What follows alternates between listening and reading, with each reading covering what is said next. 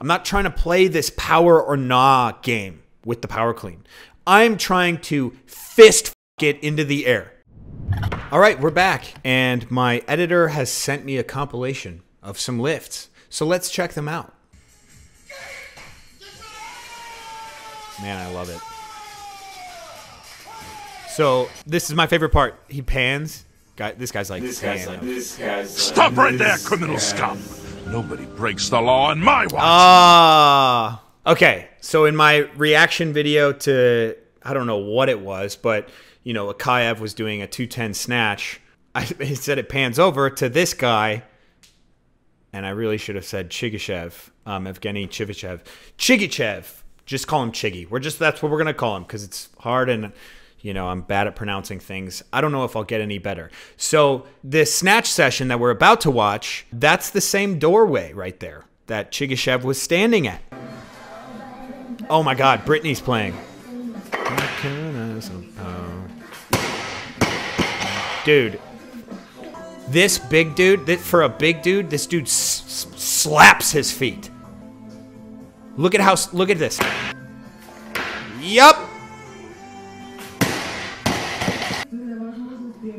Imagine snatching.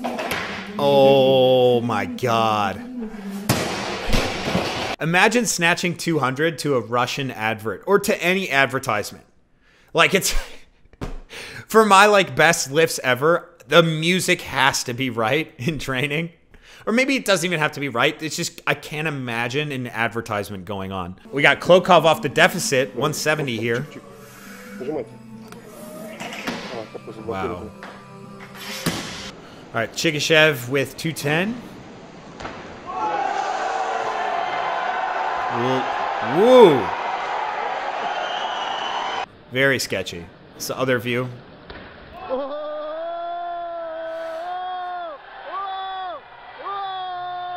There's something really cool about the way like a lot of Russians lift. It's how they're so patient in that first portion of the lift. And then when they when they make contact, it's like if you think about a dip and drive for a jerk, right? It's just straight up and down, down, up. It's almost like when they're making contact and that bar is going and they're going back, it's almost as if they're doing the drive portion of the dip and drive. So that's something you guys can think about when you you can pull very slow off the floor and right as you're making contact, like maybe slightly before, envision that you're in the drive portion of a dip or, or of a dip drive for a jerk. So the drive portion of that. This is what I'm noticing with this so well. Like yes, your hips do have to come forward because they're behind the bar, right? But if they come forward and back too fast, if there's too much displacement there, you won't get a lift like this. And like a lot of these Russian lifters. Oh, 2005. This is this is one of my favorite Look over there world championships. Settles down. Has got to put out This of his team was so He's badass, focus man. on what he um why can't I think of his name? That's pathetic. I'm so bad at name recognition. Alex, put the name of the announcer right here because I know it. I'm just being a fucking idiot.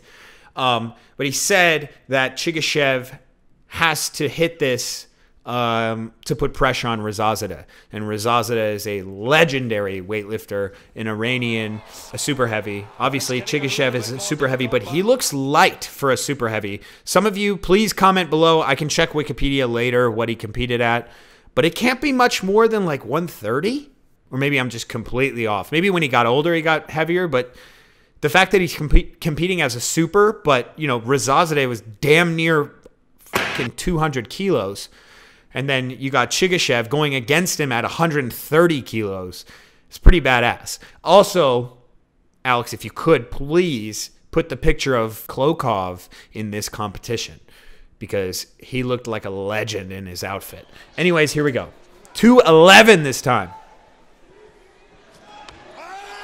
Great speed. Needs to hold. So- needs to hold. Needs to hold. Oh, that's so good. Dude, it's it's this that? Oh, pitch and catch, man. Ding ding. 225 bench press. makes sense. Yeah, for all you powerlifting nerds out there, this dude does not train the bench press. So, okay, when I say does not, I mean like on the level of a power lifter. I've actually heard that Russians do bench a decent amount relative to other weightlifter, like relative to what a lot of people think. But this is just strength. This dude is just a monster. To kind of go back on the technical part of it, we like to think of Lasha as like the the pinnacle of technique for uh, a larger lifter, for a super heavyweight. And honestly, Chigishev at this point would give him a run for his money. Um, this is it's some of the finest technique that I've seen in a heavyweight or heavier than that, a super heavyweight. He's gonna power clean this. I've never seen this, but he. Yeah, there's no way he would clean and jerk 200. Yeah, power clean, power jerk. I'm pausing it. If Alex does his job here, there should be a 220 power clean. Yup. Okay, so I've seen this one a million times and I'm obsessed with it. It might be one of the greatest power cleans of all time. First off, if you want to go back to that 200 kilo power clean, that's how I look at the power clean. Okay, I'm not trying to play this power or nah game with the power clean. I'm trying to fist get into the air. You understand? The intensity of a power clean, like you need to just show ownership over that weight. There's no playing around with power or not. Blah, blah, blah, like, dude, watch, you know, Shi Jiang. I mean, he gets pushed into lower uh, cleans as he goes. But if he's power cleaning early on, I mean, 160, 170, God, 180, I guess maybe 190, but he's catching it just boom, standing right there. There might be like a quarter squat, but it's not this game.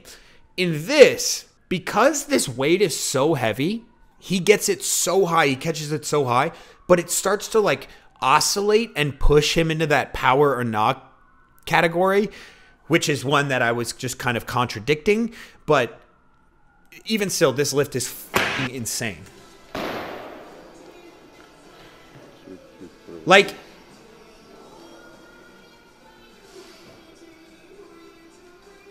oh, I forgot he jerked. I forgot he did a jerk. You guys understand how rare that is? A 220 kilo power clean and jerk?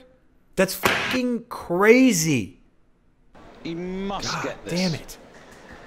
So here's a, okay, chance 246, same Doha, Qatar, 2005. Again, talking about the pressure that's that he needs to put onto Some support Rezazadeh. here in the hall. I think it's because Rezazadeh just walked out and sat down on the chair. I don't think it's anything to do with this man.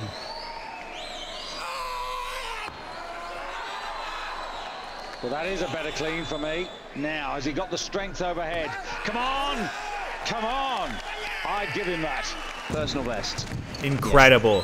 457. 211, 246. What? Two- obviously like it's so weird you know we look at lasha and we're like okay he this guy went 457 right and then we look at lasha and and even like Gor Minasyan and we're like yeah like that's how weightlifting is and like when in reality it's not okay 211 246 for 457 is fucking crazy good crazy good He is looking to try and cement his gold medal position. He too has had Beijing. Troubled times in the past. Seven in 250 what a number He was set upon by a gang. Just hold on, let me pause it. I deadlifted 250 like a year ago, and I was really proud of that. Okay, we're just gonna play now. Young weightlifting colleague. His colleague died, and Chigishev had a year and a half out of competition, but now he stands here, 2008 in Beijing, perhaps about to become Olympic champion. Surely to put the gold medal beyond doubt, Chigishev. What an effort! What a roar! Evgeny Chigishev. Okay. Once more. It is Hold on. White lights from Let me- I- hold on. I need to look at. Oh, and there's. Klokov. All right, so th- this is why I'm confused. He says Chigishev will be Olympic champion. This is Beijing 2008. I'll give you guys five seconds to find out who the actual 2008. it, I don't know, maybe the super heavy actual champion was. It's a pretty great story. Four, three, two, one. Matthias Steiner was. So, what weight class is he in? There is no doubt about that. Oh.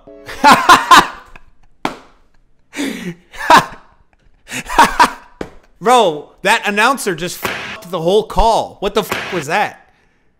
Like, hey, dude, if there's another lifter going on that can win, like, you can't call someone the champion. Oh, man. And what a funny way to do it, too. On, like, literally, I'm just going to say it, the most legendary lift of all time. To, to, all right, that's all I got for you guys. Uh, Evgeny Chigishev, a name that you should know. I don't care who you are, you should know it. There's a 220 power clean and jerk, for God's sakes. All right, see you guys later.